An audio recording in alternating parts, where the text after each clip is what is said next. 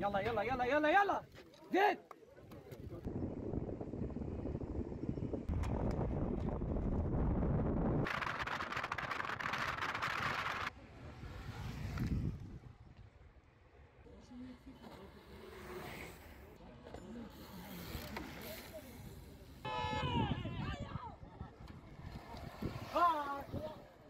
اليوم آه، تحصلت على المرتبة الأولى في أواسط دورة ديتوش مهارات. كان مسلك صعب.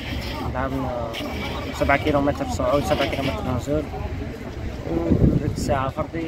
ربي يوفقنا إن شاء الله. لاعب المنتخب الوطني التونسي آه، جينا اليوم آه، مشاركة في القسنطينة آه، في هذه الدورة. الدورة كانت محققة المرحلة الأولى كانت ممتازة.